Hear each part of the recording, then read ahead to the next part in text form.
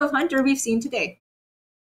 Uh, that's right. Yeah, yeah. Along with the the dragon, the face, and of course what Surrender is bringing mm-hmm. along with uh, his players here in the Highlander variant. And for Samuel Tsao, like you were saying about last week, it, for me it wasn't even that bad. Uh, the Alexstrasza pick. There were so many other much more egregious things in his play, and I'm not trying to rag on him too hard about it. Uh, but I'm just trying to paint the picture here that it is time for him to prove us wrong. Show us that he is not the underdog and uh, the weakest player down in Division B, despite the fact we've only seen him play once overall here in APAC. But maybe one way he can do that is the fact that he's been left up with a warrior there, Gia. Yeah, Blitzchung does it again. You know what?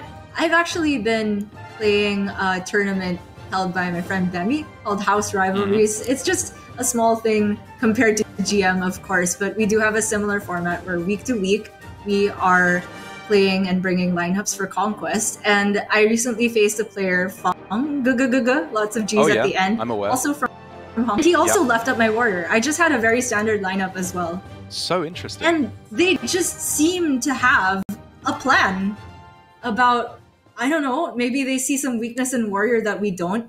Granted, I did lose with Warrior at one point, but that was my own fault. I straight up messed up the game. There were winning lines that I missed. But what I noticed is that Feng was going very, very um, homed in on removal.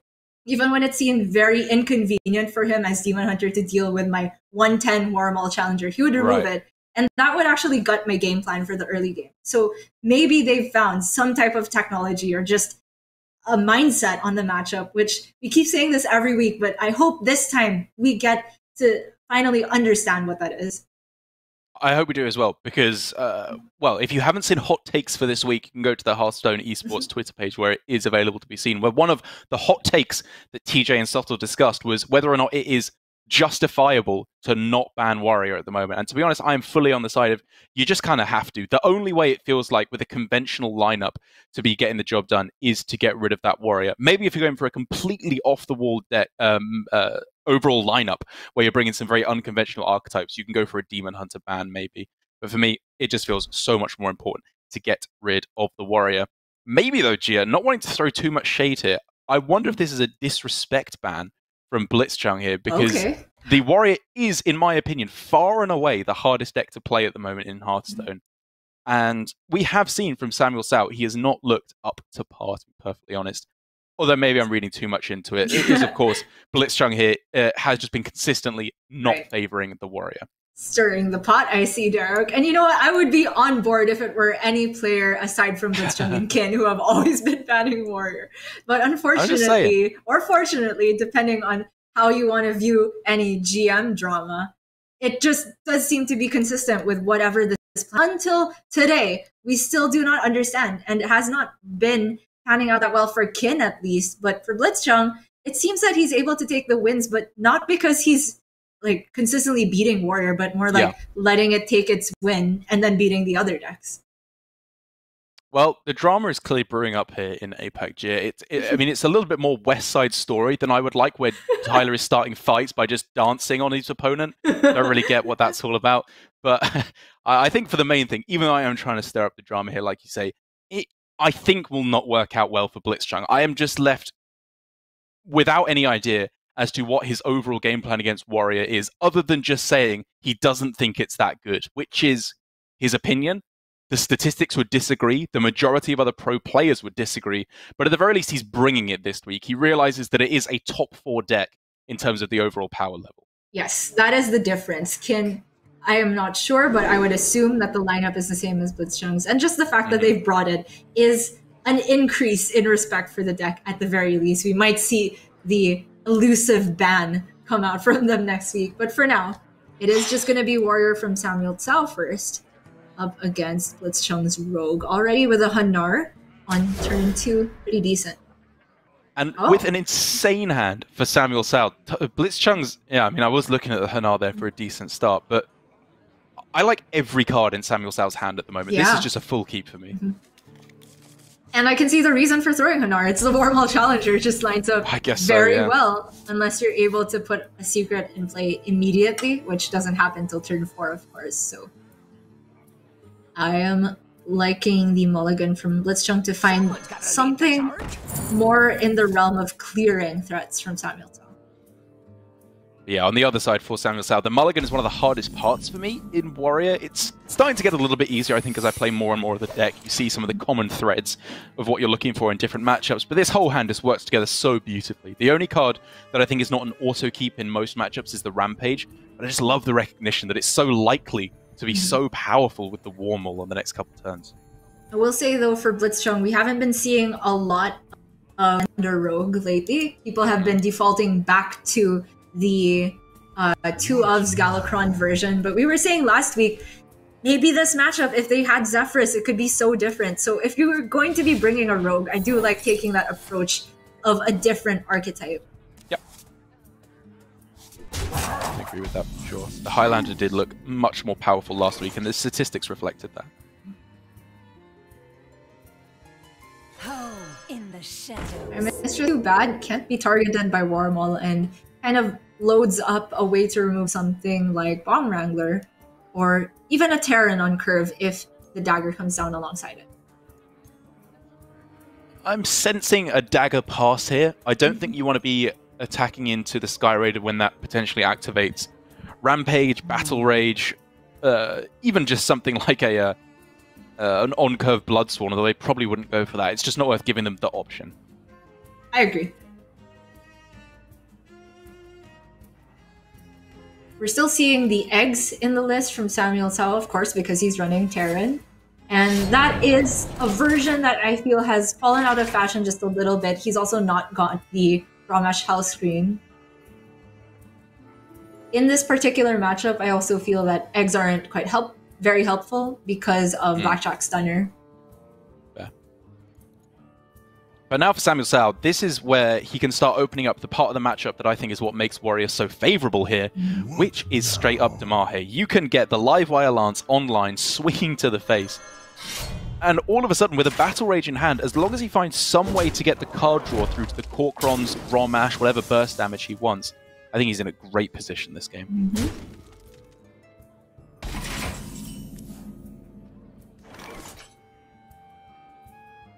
It's like pretty straightforward mana saver turn for Blitzchung here. Actually going to trade and respect this. This is already looking like what I've seen from Fung, which is just clearing the minions from the warriors. The yeah. warrior doesn't have minions. They can't get the synergy with half their deck essentially. The problem is usually that the minions are too sticky. Mm. Well, speaking of sticky minions, just a straight up 110 Warmaul Challenger could be played here with a taunt as well to bring it up to 11. Is that just the best play on this turn, Gia? Everything else looks fairly vulnerable. Yeah. Uh, 112, sorry, yeah. What did I say? 11, but I oh, understand sorry. because that is just a saying, turn it up to 11. exactly, that's what I was going for. Keep up, please. I'm sorry. So the 112 is very scary against Zephrys, I would say. Uh, other than that, I kind of like the sound of it. I was even potentially looking at setting that up so then he could, if Blitzchung doesn't develop any unstealth minion, damage it with the Kobold and then rampage right. it. Yeah, that's fine. That, that sounds very powerful. Obviously, you're walking into Flik then, which is what you're always afraid of. Right. But I wouldn't have minded so much against that. Whoa. That's a pretty good one. 4-5 with Taunt, Death Rattle game armor equal to this minion's attack. That's premium. Yeah. Good sustain for Blitzchung here, but we can crucially see now that Samuel Tsao has a damaged minion, which he can rampage and potentially just get through one of the taunts with weapon and Kobold Lackey. I do really like holding on to the lackey here as well to set up for mm-hmm. the Togwaggle, of course, because right. Samuel Tsao's uh, the biggest thing that Blitzchung was afraid of was any way of clearing it off, be it the risky skipper, the uh, inner rage, whatever. Just want to guarantee yourself Tog on the following turn. Right. So when I look at this board state, first thing I want to do is find a way to get the Korkron to the face. Okay. Um, is there any way to do that? It involves playing the other Korkron, but that means you can't play the Rampage. Does this work? Kobold. I don't think it's quite there. Oh! That is premium! That's huge! Oh, can you just go Terran now? Okay. Yeah, Terran, Trade, rush it trade in. the 1 1 first, right? 1 1 trades in first. Great. Uh-huh. Terran, rush the Terran. That is really strong. Great spot Yeah. there. From both you and Samuel Tsao.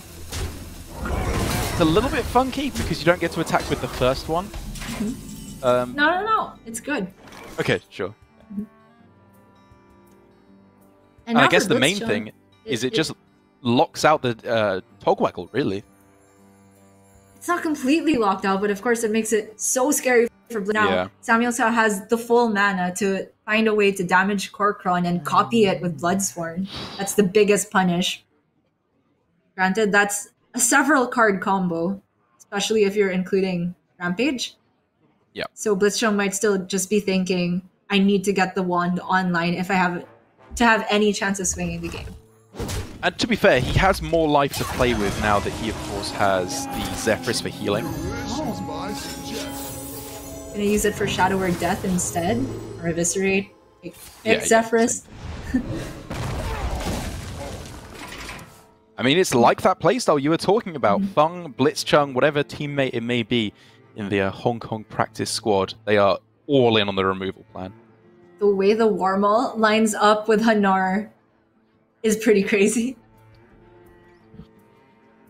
Just ends up with a 1 5 after clearing Blitzchung's 1 5, which he can then rampage. Yeah, yeah, yeah. I'm looking at trying to set up lethal over the next couple of turns, though, for Samuel Tsao, which I think involves Ancharrr and probably going face on this turn. Uh, it might be getting a bit too aggressive there. But he's getting really close, and there's not much that can stand in the way. I definitely get the reasoning for setting up lethal, as long as the Hanar is cleared. Yes, I definitely like this Yes, because yeah. so many secrets can get in the way of charging minions.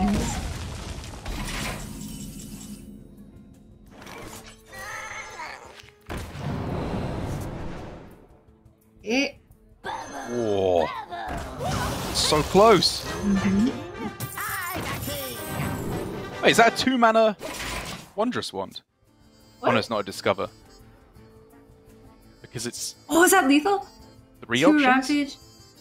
Um, seven, nine. Doesn't quite have mana, right? The Korkron can fit, but there's so much damage with Inner Rage. 7, 9, 10, 11. It's 13 that I can see. Yeah. What now? Or 14 if you use Korkron instead of the other uh, Rampage.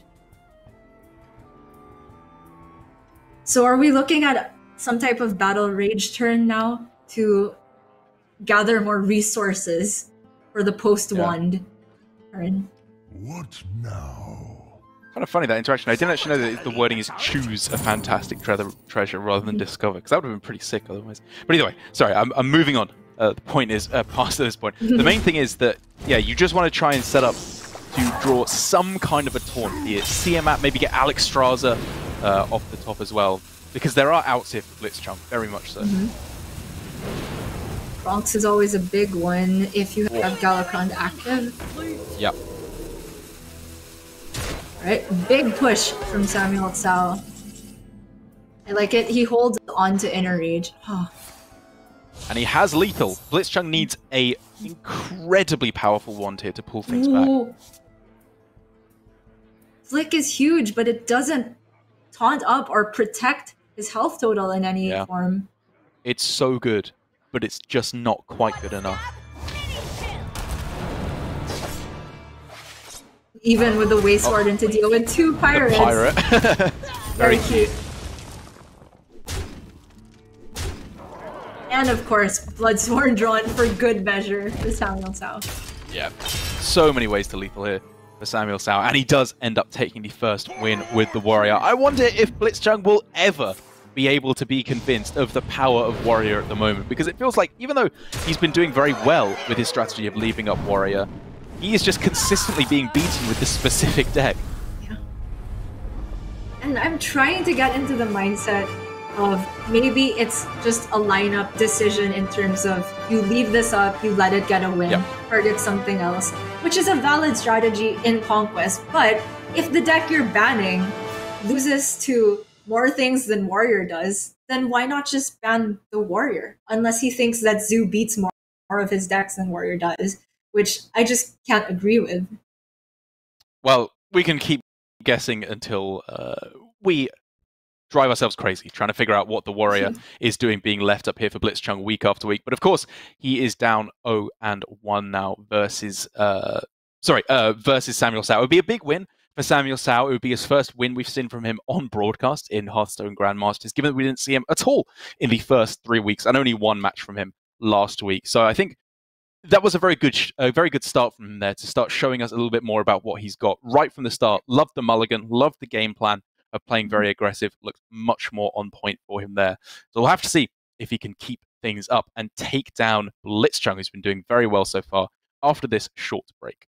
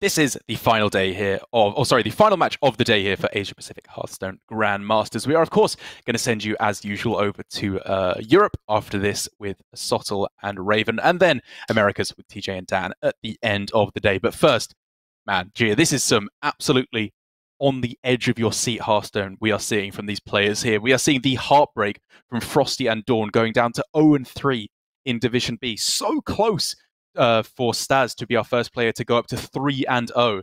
And now in our final series of the day, it really is just for me the story of Samuel Tsao trying to prove his spot here in Grandmasters.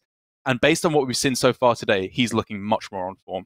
Yep. If you're gonna cook up any drama, the one I like to see is a redemption arc. And Samuel Tsao has been on point today with the warrior gameplay. And you know what? That's nothing to scoff at. The deck is very difficult, and a lot a lot of the times you just expect it to get banned. So you might not even be practicing it as much as some Yeah. of the other decks. But particularly against Blitzchung, as we keep saying time and time again, there is no respect, no warrior ban. And you know what? Not even a demon hunter ban. He bans the zoo. He does indeed. Taking a look at the rest of his lineup, it's not necessarily quite so obvious why he would do that. Maybe it is in no small part uh, due to just the rest of his, I don't know, it getting underneath the rest of his decks in terms of the uh, the Highlander Hunter. One of the things we have been hypothesizing about leaving up Warrior is the fact that the Highlander Hunter feels like it does fairly well against it, just with placing a lot of threats over the course of the game. But I still think I'd rather get rid of the Highlander, oh sorry, of the Demon Hunter rather than the Zoo based on Blitzchung's lineup. Yeah, I was about to make an argument that I think week one, we were seeing Highlander Rogue actually have a positive win rate against Demon Hunter. Okay, fair. Um, But a lot has changed since then. Yes, Demon Hunter's been nerfed, but the big one is that Zephrys doesn't give Sackpack anymore because uh, Sackpack can only target friendly demons, and that is a huge factor in that matchup. But I do think the Highlander Rogue still is in with a shot versus Demon Hunter, and that's the matchup we're going to see right now. Oh, excellently set up, Gia.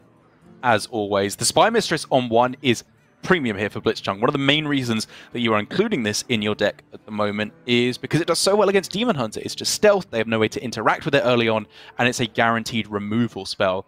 It's uh, so good that we've seen some decks even go so far as to include Worgen Infiltrator, I think, as a 2 1 stealth. Oh Obviously, that's some of the weaker classes at the moment, like Jambre is experimenting with that in Shaman.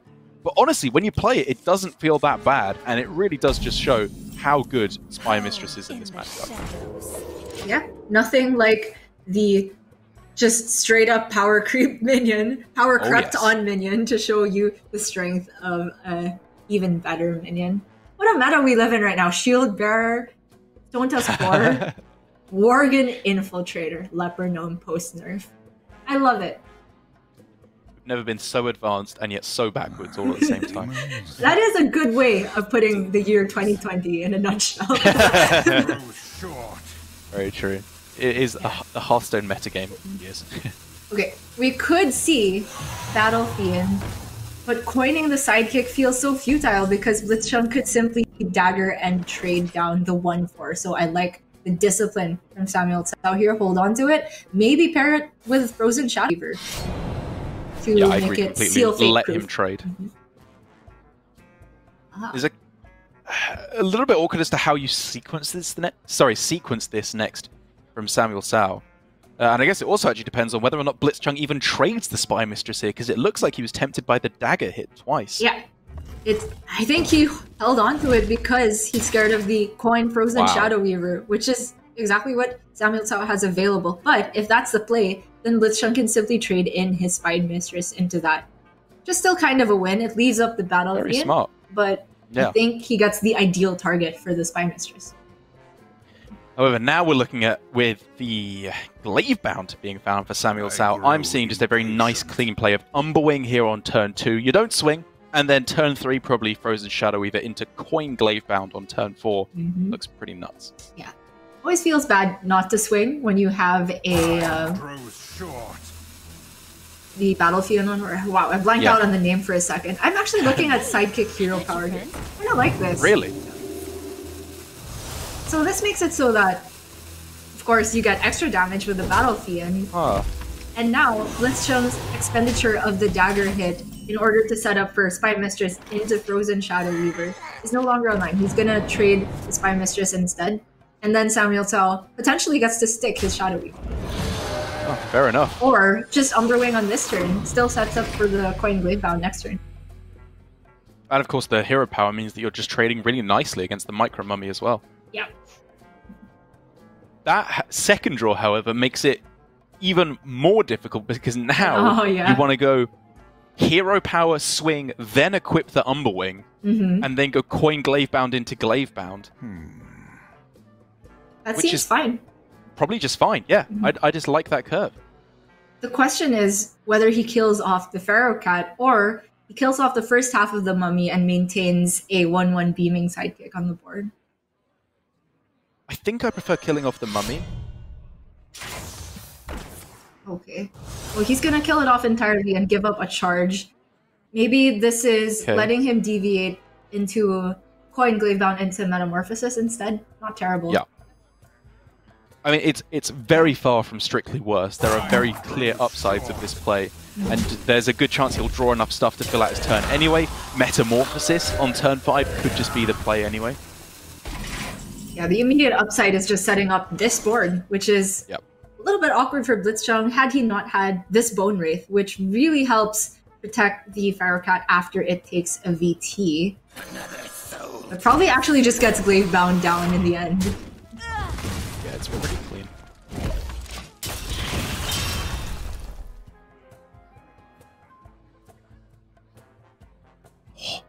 The twin slice off the top means Samuel Tsao can have his Oh cake and eat it. Gosh, you're right. it was a pretty simple turn.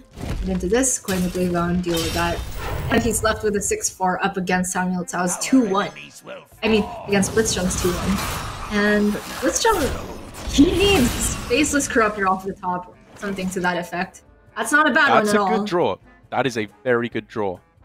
Step the cat, Problem see what you get. Problem is, he really wanted the cat attack to go into the Bound. Of course, he needs to step it though.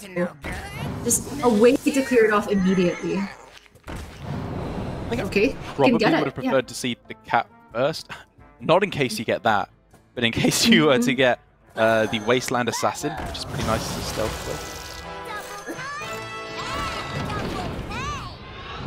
Feels bad to get rid of the the Dragon Bane, but killing a Glaive Bound immediately is pretty premium.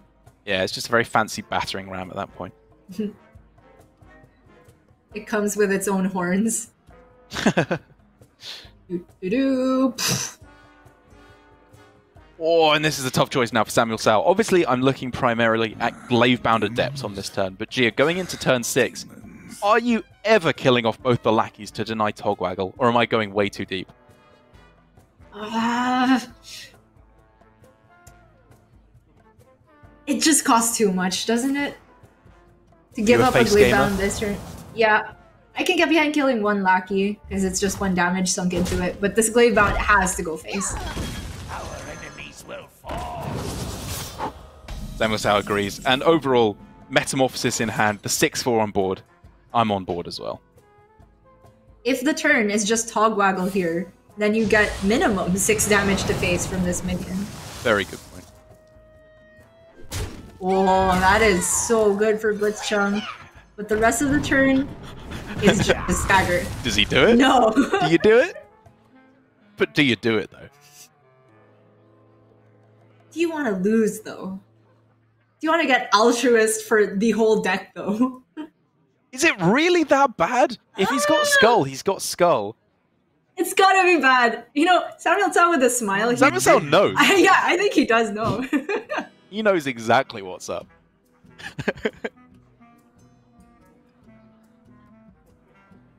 and I can't even tell if Blitzchung is smiling or grimacing. He doesn't want to show us his reaction. All right. Not feeling so generous today. Mm-hmm. Melee, I wanted to see it just because it would be funny. Gotta be honest here. If he's got skull, he's got skull. Did you say? Yeah, and he's got the skull. Alas, Nice easy play. Premium. Not the greatest things to discount. Yep. Definitely not premium outcomes. But with the Sightless Watcher for next turn, if he could just place an Altruist conveniently at the top, I feel like he doesn't need to rush. Yeah, yeah. I fully agree. Even the other Skull, or say a Spectral Sight, just getting an Altruist, suddenly this hand is looking insane if that happens. I think you need to be a little bit careful about just assuming that you're going to get Ultras off the top. It's like 3 out of 16 is not especially likely to find it at that yeah, point. I'm thinking of also just Second Skull, Spectral Sight, anything Hmm. point, for yep. more draw. And if none of that comes together. Warglaives with Azzinoth, definitely still fine.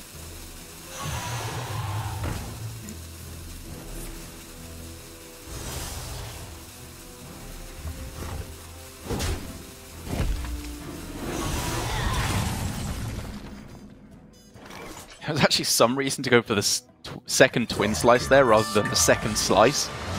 Weirdly worded enough, just to make sure that his Eye Beam is kept in the middle because it would cost zero instead of one, given that it was drawn off of skull. Sure. But he'll But draw this keeps more information. Yeah, yeah. And he'll just draw a card anyway next turn. They will never Not a bad one. Okay. Oh, I wonder if Card he, draw keeps rolling. I wonder if he ever starts with side. Oh, never mind. He gets the altruist anyway. I was like, go for the sightless. Try to Okay. snipe the altruist, then you draw it. Everybody be chill. Nobody overreact.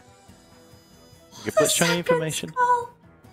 And with the second skull off the top Yes! for Samuel Tsao, he's just setting up for the ultimate combo now, right? This is this becomes his game plan. This is just OTK Demon Hunter now.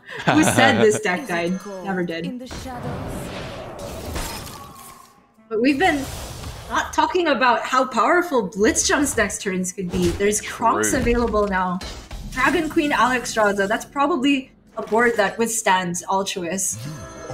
The Kronx for AoE. I Yeah. like that. Is You could even just go Hanar Secret right now. Yeah, that sounds great. Mm-hmm. Huge swing. Let's Blitzchung at a healthy life total, but I think he has to know that something's been brewing for Samuel Tsao. Something is brewing, but Dragon Queen Alexstrasza, I think, on average, has a pretty good chance of just getting straight up out of range of Altruist. Eight Right. damage Mhm. nowadays is a lot to deal. It is definitely a lot to deal, but not impossible, I would say. Definitely Any not. Further card draw from the Skull of Gul'dan could be game changing. I'm thinking Spectral Sight, I'm thinking the other Crimson Sigil Runner. That's getting held in hand, 100%. Um, I think you can pre equip the Warglaives. I agree.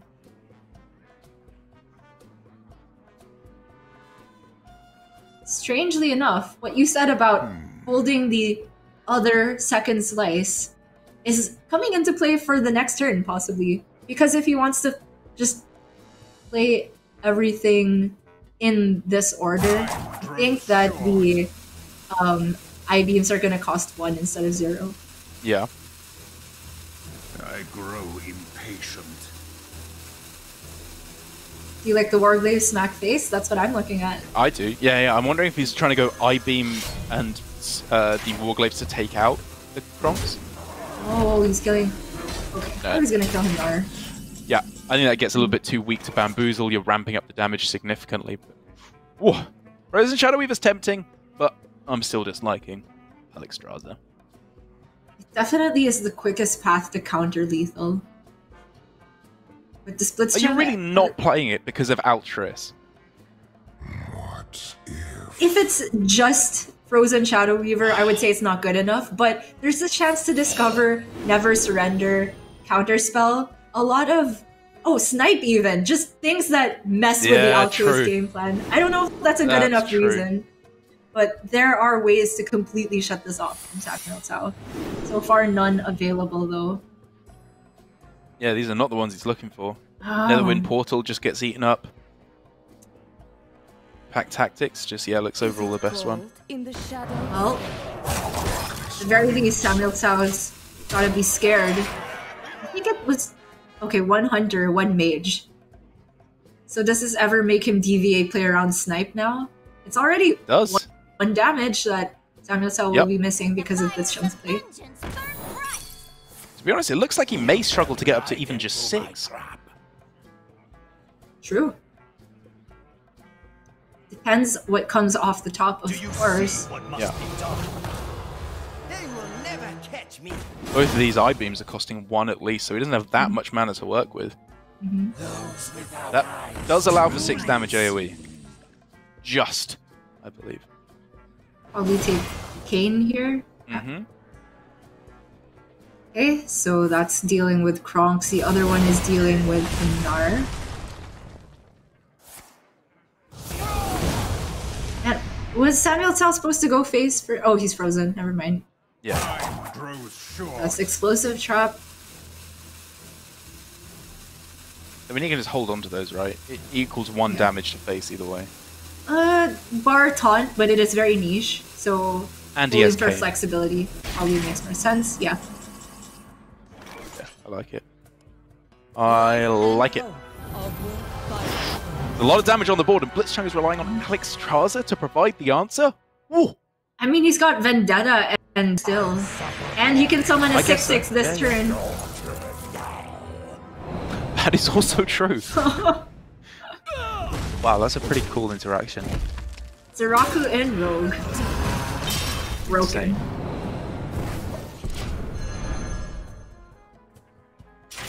So that is 19 on board for Blitzchung. Not quite counter lethal represented. Um. nine, Is this lethal if none of the secrets are counter uh, countering stuff? I think we saw Noble Sack. So Well, we- saw Ice Barrier, right, as the mage secret. right, that's the big one. I mean, obviously Samuel Tsao's got to go for it here. He's just dying way too quickly now. And that is the last thing in the world he wanted to see. Yep. When is this battle mage ever going to be able to resolve its attack? Finally.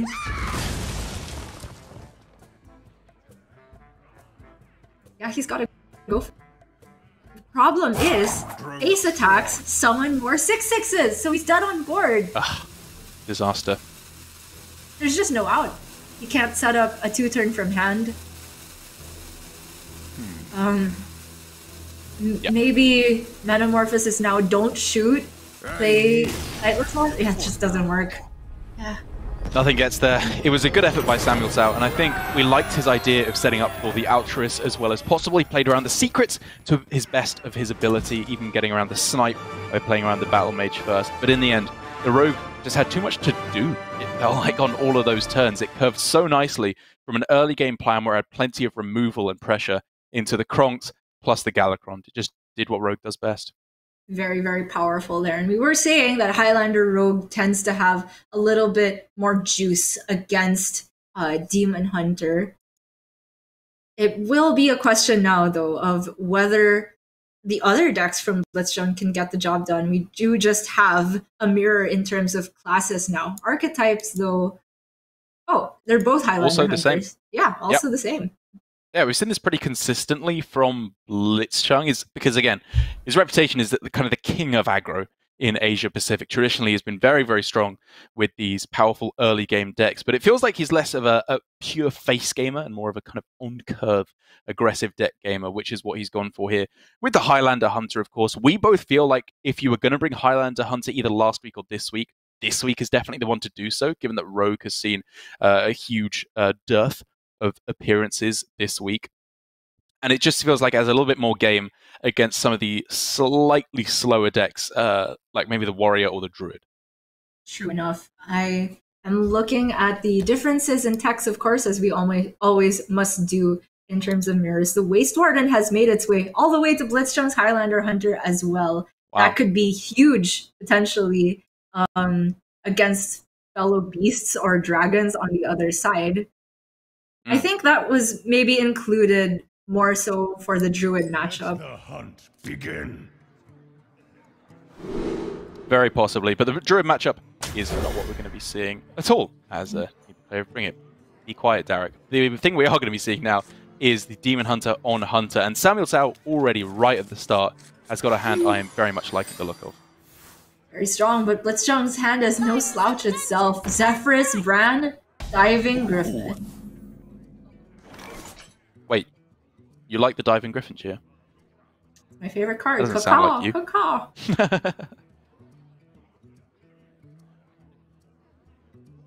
He can't coin backstab here. There's no way. Pretty This sure you just chill here. He's thinking about it though. Oh man! Is he thinking coin Zeph Word Shield ever? Okay, the totem golem. Yeah. What what's the follow up? It just seems so weak. If he had anything to do, that would be a snap play, I think. But Mhm. with just a hero power on two, you want to set up for the more powerful plays on turn seven. Some great draws though here for Samuel Tsao. He is filling the curve not just with weapons and reactive cards proactive damage. I'm talking Bloodfen Raptor levels of proactive. I'm looking at Kane. Ah, Just by the way the curve is shaped, he's got a three and a five, but no four. Oh, it's pretty premium. Can curve three into Shadow Weaver if he likes, or Diving Griffin. So you're thinking that over the Zephrys on this turn? You want to go for Wild Growth? I, I don't know if he's gonna have the time for that. I Yeah, yeah, am yeah. looking Yeah, yeah, at yeah. Bunch Well, of the- the- rushes. The one other option is coin Zephrys Forked Lightning if you really want to stop the damage coming Oh through. wow. But I think you you're not under that much pressure to where that's worth it. Yeah, Blitzchung, I think, was just thinking about where the trades go, and I think this is very smart. It requires something more than hero power to deal with, but unfortunately for Blitzchung, the punish is there, Umberwing hero power. At the very least, it did deter the Frozen Shadow Weaver on this turn, which would have even more pressure coming down on the board. Speaking of Frozen Shadow Weaver, is that what Blitzchung goes for now and not Freeze Face? Oh, that's pretty good. Gives him a clean answer for the 3 2. Yeah, yeah. The trade of the, the, the Sightless Watcher into the Frozen Shadow Weaver was just that little bit too bad. Yeah, I was thinking he freezes the sightless over the face, but obviously Oh, the okay. Oh, sharpshooter sure. saves Yeah, problems.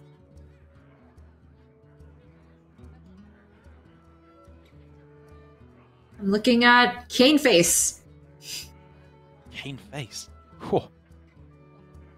I grow traits? impatient. Don't like it?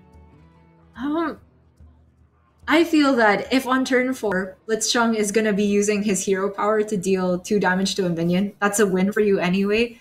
And then Mhm. the trade of one three into a one one, well, he can just kill it with the other one one in the Umberwing. If that happens. Still find you. Right? Sammy T playing it safe as always, though. Look at you calling Huntress Casper and Samuel Tsao Sammy T and Tyler Tyler. Sorry, I'll stop name dropping. So tracking diving griffin, that's pretty simple here. Waste Warden gives him game against demons. Demons? Yeah.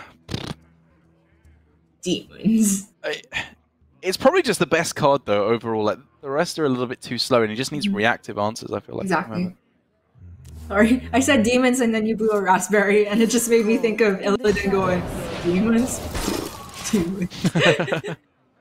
I'd pay for that alternate voice line, I'm just saying. Oh, look at that freeze! wow! the timing going into turn five. That is worlds apart in terms of how this game shapes out now. Turn three, turn five, best times to go for Frozen Shadow Weaver. But Samuel Tsao still got Demons. game of his own. Demons. Could just load up the metamorphosis if he likes, but I'm partial to even developing a, his Yeah. own Shadow Weaver, even if it floats some mana. Freeze the other Shadow Weaver.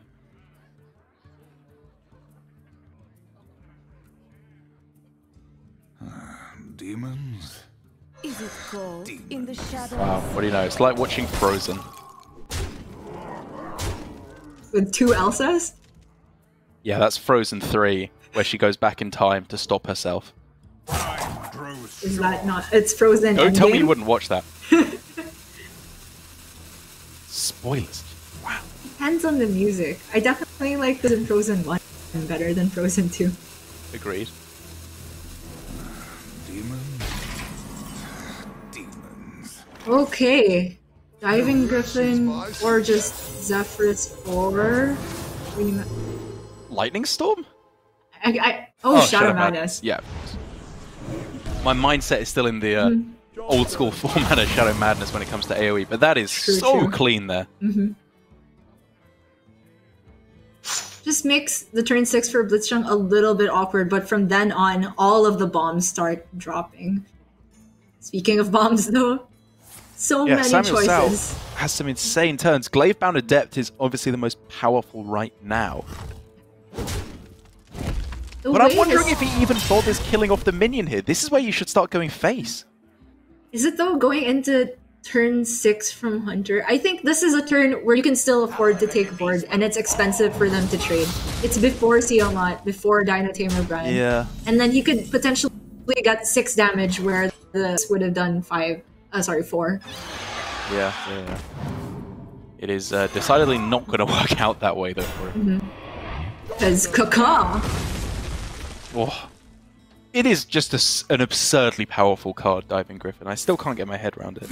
It's so good. Complete. Kind of just like a Shadow Ball, unless you get it from They Mount Seller, in which case. It's like a Shadow is- Ball. It draws a card. Yeah. Shadow Alright, Ball that draws a card sounds busted. Alright, alright.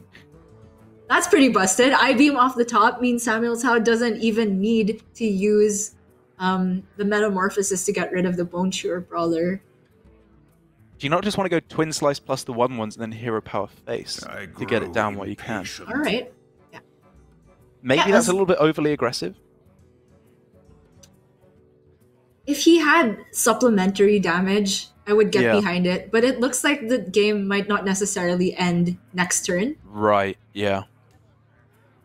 Reasoning for Eye Beam. And he does milk extra damage from the minions this way. It just takes another turn to get mm-hmm. online. Okay, gotta attack with the face first because it is Bone Chewer Brawler.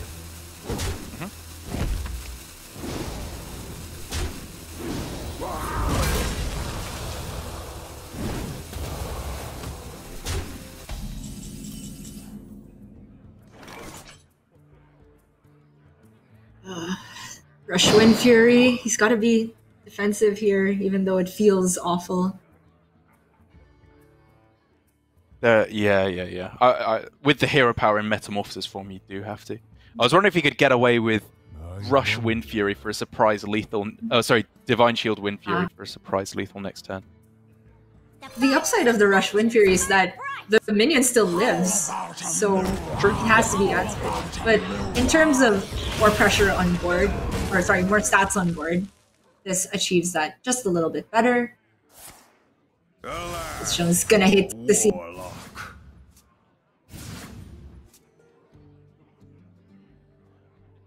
Obviously, there were no draws for Chaos Strike, given that's one of the cards that Samuel Sowers cut to find room for these Sightless Watchers. Okay.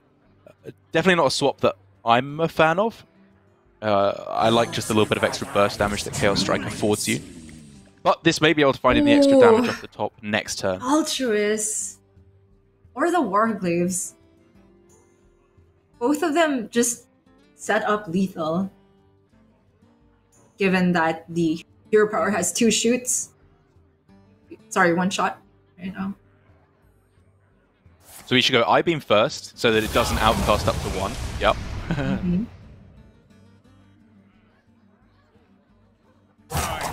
And hero power is always going face here. I was wondering if he wanted to use the refreshed hero power instead to Yeah. develop a 2 So was I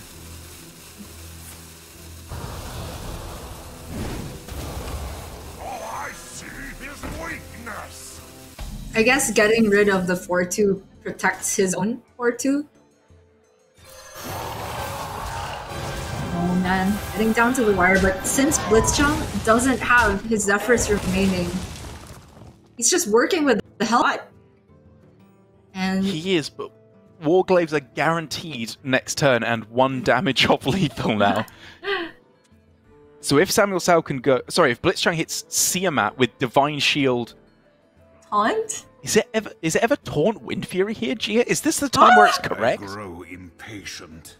to set up for lethal the turn after? But then the You've seen both Wargla- eye But the Warglaze just goes through it. Doesn't Oh it? yeah. Unless you can set up lethal through that, I don't think so. Yeah. All right, fine. It's not Divine Shield. It's not Taunt Wind Fury this time.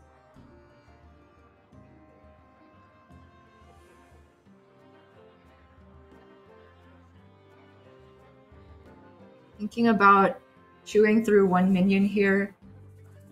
I mean, there's 22 damage represented either way.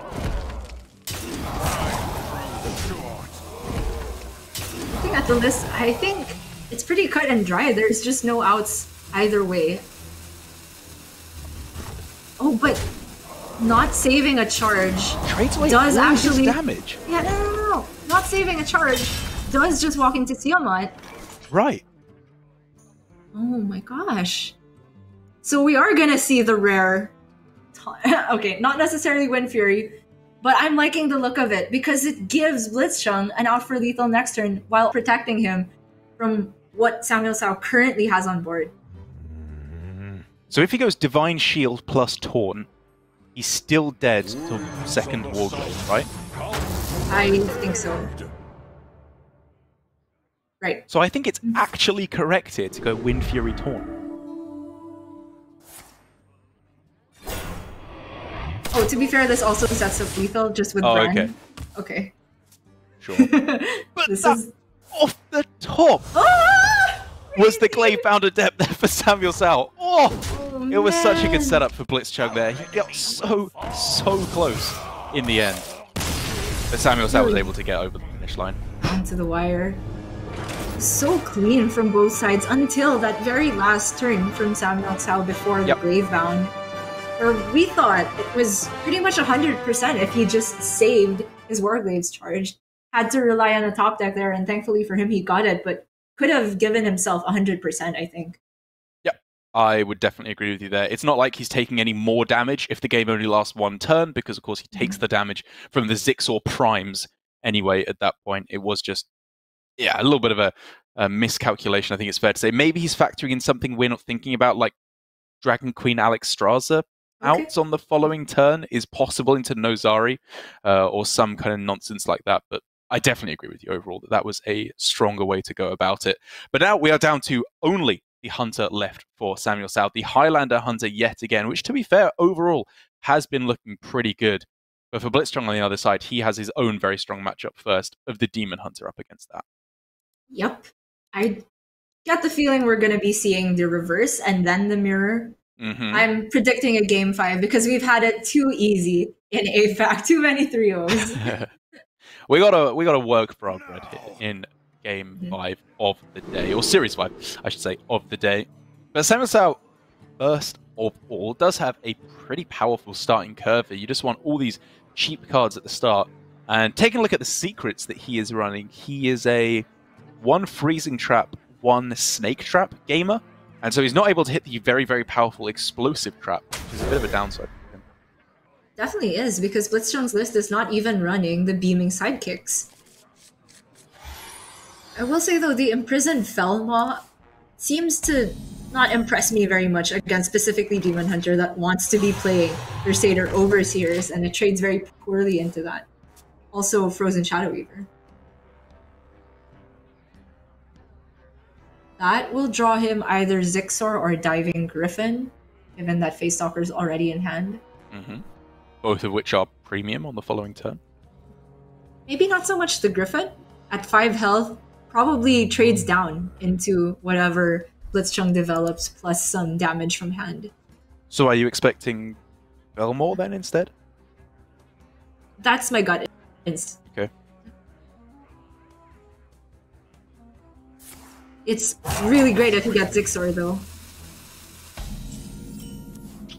Oh, sorry, 7 4. Miscounted. Hmm. That is a huge drop for Blitzchung! My gosh.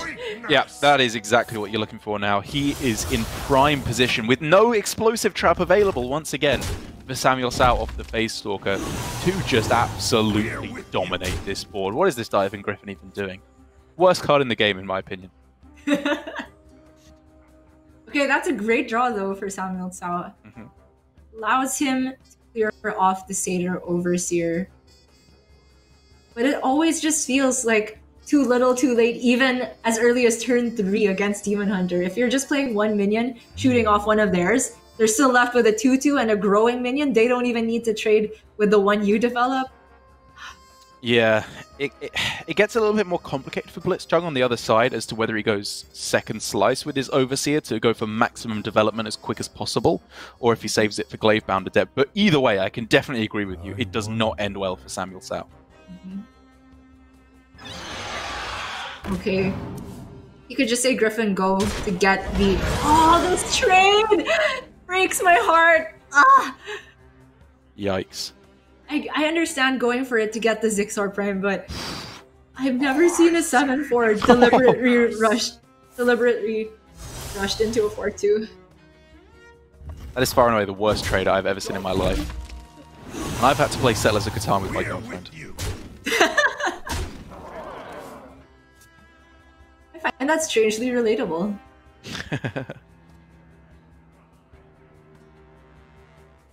Oh man, no explosive trap here is just all the difference. It's so brutal. Like, he would be so far in the lead, or at least so much in the game if he had an explosive trap there. But he has nothing. And Blitzchung, meanwhile, just ha- has curve after curve. There's no reason to hold back on a whiteboard except, I guess, Zephrys, in which case you're fine. Zephrys Shadow Flame at the at that's just resets for Samuel Tsao. Then he could just play a 6-4. Because the diving griffin's been used.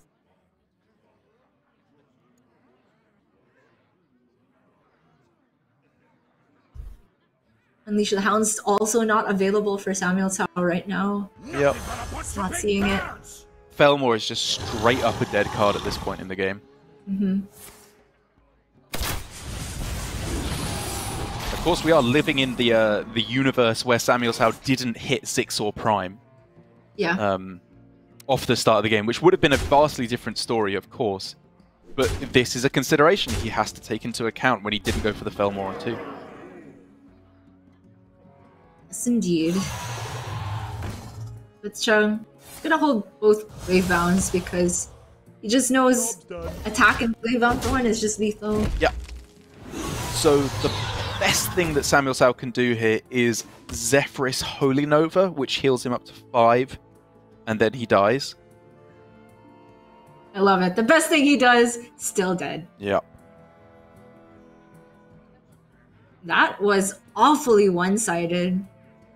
But you bring up a very good point. The scavenger's ingenuity was a calculated risk. It could have been such a huge swing had the Zixor stuck and been the one drawn. But sadly for Samuel Tsao, this is the bad universe in which he is living. He's just going to have to concede and take it up in game five with a mirror of Highlander Hunter. And to be perfectly honest, there are few people I would like to face less in the hmm. world on the Highlander Hunter than Blitzchung. It's just his bread and butter and has been this exact type of play since the start of Hearthstone. Very true. You bring up a very good point uh, a while ago with Blitzchung not being so much of a face aggro gamer. There's also a type of aggro gamer that is very proficient with the micro decisions, taking trades on board, doing perfectly when the time to go faces, and oftentimes that's not at the beginning. Blitzchung is able to turn the corner very consistently in that regard. So I think that this will be a tough one for Samuel Tsao. And looking at the lists, you're already seeing a difference in that Blitzchung is not running the secret package altogether. So his scavenger's ingenuity will consistently draw three drops. That's right, and he's also got a little bit more of the early game. Therefore, because of that, he's able to fit in a Guardian Orc Merchant, uh, Orc Merchant. Sorry, don't uh, get that the wrong way around. Uh, which gives you just a little bit of extra trading potential to try and lock down the game early on. Uh, he's also got the Frozen uh, Shadow Weaver as well, which is not especially powerful in the matchup. But I think basically it's just kind of more consistently good cards he's got rather than the awkward spell package. But to be fair, the spell package can be very, very powerful. In a deck that often plays one powerful minion on curve in the mid game, Freezing Trap Mhm. can just absolutely blow your opponent out the water. I would make the same point about Snake Trap for Mm. similar reasons as the face, uh, sorry, Dragon Hunter Mirror previous meta. Usually, once a Snake Trap comes down, you just never want to trade because it is just too many resources you're giving your opponent. Yeah. And whereas Hunter really struggles to deal incremental damage outside of Desert Spear and a conditional Unleash the Hounds, giving your opponent snakes suddenly can let them dictate all of the good trades. It can indeed. We'll have to see what they're going for because also you have to remember in this matchup, it's not just a straight up aggro matchup, despite we've been describing Blitzchung as the kind of champion of that. Uh, with all the late game that you have in the deck, uh, I find there's a very consistent game plan you can go for, uh, especially if you hit Zephrys at the start of the game for wild growth and really just try and tempo or uh, turbo, I should say, through to your late game cards as quick as possible. Yeah, the race to Dragon Queen Alexstrasza is kind of a story for almost every Highlander deck mirror. Rogue definitely has that interaction Yep. where the first one played is very difficult for the opponent to answer, and then they just get the lethal. Obviously, that is even exemplified as well by Dino Tamer Brann, which, if that comes Mm. down, even if the answer is there for the 8 8, you've still dealt the 8 damage to your opponent. Uh, and therefore, we could see Blitzchung Mulligan quite aggressively here for that Zephrys, which I think is pretty much exactly what we see. He holds onto the one drop because it's fantastic, but even the ooze there was very worth considering keeping, just playing on two. Yeah, I'm a little bit surprised because being able to ooze something like uh, Desert Spear or Stormhammer could be very relevant in the matchup. But oh my gosh, both of the secrets for Samuel Tsao drawn. So that is so unlucky. A Stalker not getting any added benefit. We're uh, we're River Crocolisk gamers now, Gia. This is how Samuel Tsao has to operate. The absolute worst case scenario. I mean, to be He fair, does have a curve though. yeah, I say it's the worst case scenario. He can just play the secrets. These are pretty good secrets overall to just play out, even if it's not what he wants to do. Yeah, the small benefit of being able to choose which one goes in which order Yeah. I think is heavily outweighed by just not having two other cards in hand right now, though. He's got a pretty good curve of his own, even Zixor developed for tempo into Bone Wraith. It's defensive, hmm but it could be what he needs. That's a good boy! Felmaw right there. Is that a Zephrys? Whew. It is indeed. Okay. So already on this turn, I'm thinking options include Zephrys Shadow Word Pain, but it doesn't look that good given that the 2-2 can still trade in and you're really not that far ahead on board at that point. I am looking at a Stalker Snake Trap. I like the look of that. Without the hero power, feels so bad to say that. but you just hope that your just- opponent looked away and thought that you pressed the hero power. That's the, the best plan. Mhm. Just wait for Tyler to get up, and then you go. Unfortunately, Blitzchung is not having to answer any deliveries at the moment.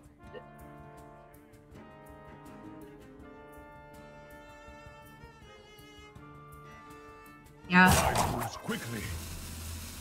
we'll get tunneled in by the fact that the minion isn't getting its full value. More important for Samuel Tsao right now is to play the most stats onto the board while preserving Zephrys for a better use later on. And of course, Freezing Trap, not very good when Blitzchung has a 2-2 available. Ooh.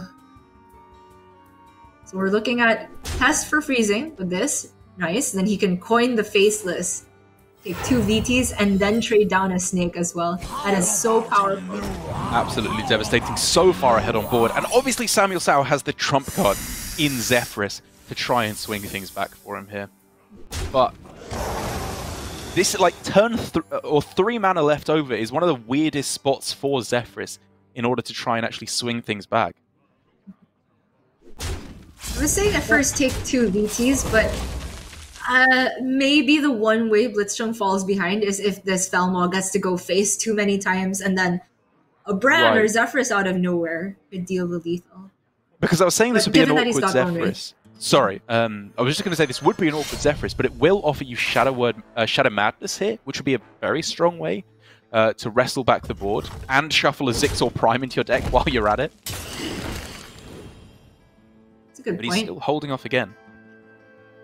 It would remove two minions, but not leave a good way to deal with the 4-3 here. I think Samuel Tsao is instead isolating it with Okay. Freezing Trap. The Yeah. game plan is to get to a safe seal Siamat. I can respect this. I like this a lot. Yeah.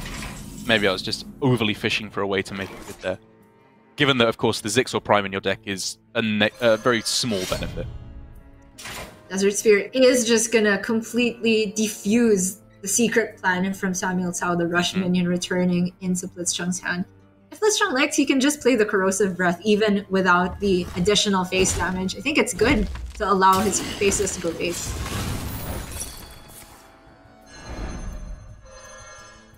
Yeah, very, very smart play.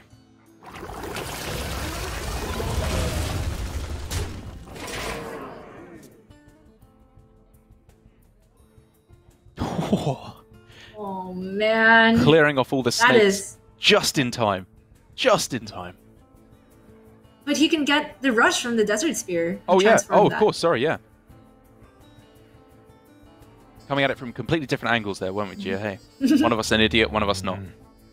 That's all right. I think we're at a balance.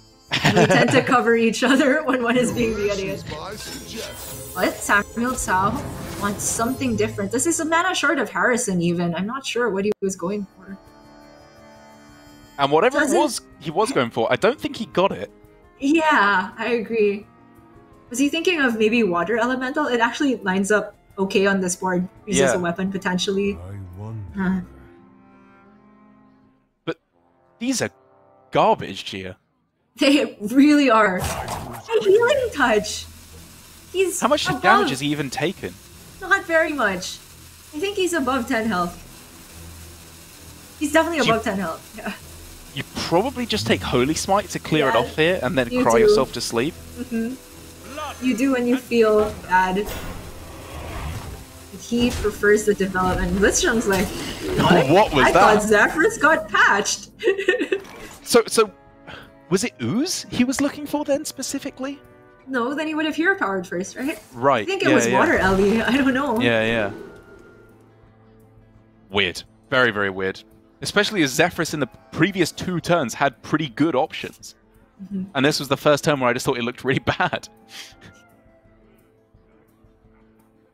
Okay, waiting for the next patch then. um, unleash the hounds with the desert spear. He can just push the faceless to face yet again, fit in the hero Mm-hmm. power, roll into Siamat for the next turn. But he's got to be worried about Samuel Tsao's own Siamat. Yeah, we're looking at Siamat and we're looking at Dinotamer Brann, of course. But uh, Blitzchung needs to play around to the best of his ability. I don't really see much of a way that he can play. Sorry, uh, play around the King Krush. Uh, that's just going to go face. Not much he can do about that. He's got a bone raid. That's the way you play around King Krush. You trade in your Twilight trade. And then you make top five plays. Indeed. Ooh. Not this turn, but that's potential for Samuel Tsao to put the race back on Blitzchung. Of course, Absolutely. that is barring the Stormhammer, which we can see Blitzchung already has. I wonder. This just looks like a Siamat Divine Shield rush to me. Is it Divine Shield Wind Fury? You could trade the Zephrys into the 4 3, and you, I mean, you can clear off everything without taking any damage. Okay. Taunt? Taunt? Wind Fury? the rare seal? Oh, you're so close there. I like where your head was at with the Wind Fury because he also still has this Desert Spear charge. Right. I mean, Clean up the hounds. this plays around uh, Dinotamer and Ran on the other side is the reason to go for this play, quite clearly. Right. I wonder if he can consistently beat that, though. I wonder. I'm gonna go ahead and say no. But Right. if Blitzchung has neither Brann nor Siamat, what is he praying for? He's got a good play already, just the Siamat. Well, I mean, he's just hoping that he's not dead on the backswing through Okay. another Dinotamer Brann from Samuel Tsao's side. Alright. That wouldn't be lethal though. Uh, you're correct. Well, in that case, it looks pretty much like Blitzchung is in a winning position. That doesn't help. Oh, he Dragonbane has kill can't command clear? in the deck. That's what he was Right. praying for. Okay. Dragon Dragonbane cannot clear. That looks like GG to me. There's Uh, no can deadly the shot, is there? Big ol' well into no freezing trap's been used. No shadow. Uh, yeah, there's no freeze either. Mm-hmm.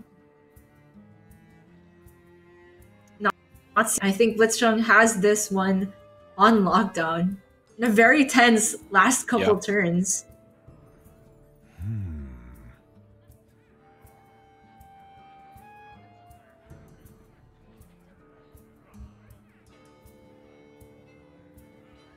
Is there something we're missing? Even if there isn't, you can never blame a player for just doing the double take over and over. And Blitzchung with a cheer. Definitely one of our more emotive players. And every one Yeah. of those in APAC is a precious resource, I must say. Such a big deal for Blitzchung there, Gia. He is able to go up to 3 and 0, our first player, I believe, down in Division B to get up to that flawless scoreline after his first three games. Very, very well done from him there. But to be honest, even though I'm happy for him, the real standout for me was just uh, I'm kind of left just still perplexed with uh, uh, without words as to what Samuel Tsao was thinking of there. Like you said, Water Elemental is a good guess, but even then, is that better than just going for the faceless corruptor there in order to lock down Mhm. the board guaranteed, take Right. no damage on that turn? It just felt so Yeah. much easier. I'm also left in the dark about that one. Today has been full of ups and downs. I think we've seen some of the most dramatic and Oh yes, uh, high stakes misplays throughout the day. And these players are human, and the morale is a huge deal when you're already 0-2 going into it with only after their third game, just four matches left to try and avoid relegation altogether if you're in Division B. It's just so stressful. It is. But let's take a review of the games we saw because I feel like the trend is coming true more and more where the players who are doing well are the players who are just not letting the pressure get to them. Surrender, Tom, obviously are two players from APAC who qualified to the global finals last year in seasons one and two. Are the two most storied competitors that we have here. Tom, a previous world champion, Surrender multiple world appearances and very, very well uh, done very, very well when he gets there as well. Whereas we've seen Dawn struggling a lot with the nerves. We saw Frosty roping out there at the end. Samuel Tsao, don't really know what was going on there in that final game. And the players who are just keeping it chill, very uh, even mindset, are doing much better overall. That is a very good point you bring up. Blitzchung, our first player to go 3 0 overall Wow. because we haven't seen our Division A players who are already 2 play today yet, but they will be on later on this weekend. Each player gets to play at least one match. It's going to be four players each weekend that only play one match. Please. It's going to be some very exciting stuff. Gia, I can't wait to see also not only at the top end, but also down at the bottom end. Blitzchung has been doing so well. And despite the fact that he has a very similar strategy and lineup to Kin, it's not working out for Kin. He's down 0 2 now. And 7th and 8th place at the end of the round robin for Division A are up for a potential relegation. Once again, they will play against 5th versus uh, 5th and 6th, sorry, from Division B. And the one player out of those four who performs worst will be eliminated out of Grandmasters, relegated out along with seventh and eighth place, place from Division B. So it is just getting so high stakes, and it is not going to slow down, Gia, because after this week, we will be halfway through our round robin for these players. lightning fast, uh, not just APAC as a region, but GM as a whole. So few chances to prove what you have, what it takes, that you deserve to still be a grandmaster going into the next season. And so far, it's been every end of the spectrum and everything in between today. I think from Staz, I loved a lot of the lines he took, and then a couple we disagreed with from Tom. Um, pretty clean all throughout, but maybe the lineup choices were Yeah. a bit surprising, as we always can see from Tom, but still chill overall. I think that Ape are really showing what they're made of. I agree. I, I'm loving casting Asia Pacific. I, I I don't want perfect play. Obviously, you basically never see it in Hearthstone, but I love the flashes of brilliance we're seeing. Overall, I've been much more impressed this year than what we saw last year, but there is still just that little bit where we can pick up on players who need to try and improve in order to get over the finish line. One of the big stories of which is, of course, Samuel Tsao taking another loss in that final game there uh, of the day. But we are all done now with Asia Pacific Hearthstone Grandmasters for today. It was very, very quick, but now, of course, we can slow it right back down again with Europe, with Raven and Sottle, where it should be a little bit of a longer games overall if any of the previous weeks are anything to go by. But for now, I just want to say thank thank you so much for joining us here in Asia Pacific. Remember to subscribe if you're enjoying the Grandmasters content so that you always know when we are live. But from all of us, thanks for watching, and we'll see you tomorrow. For now, enjoy Europe.